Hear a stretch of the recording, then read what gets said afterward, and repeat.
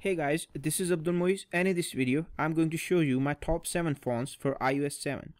For changing the font of your device, you must be having Font 2 installed. And to install Font 2, you have to go to Cydia and you have to search for Font 2. It's a free tweak from Cydia. These are 7 fonts and all of them are my top favorite fonts. I use them a lot on my device.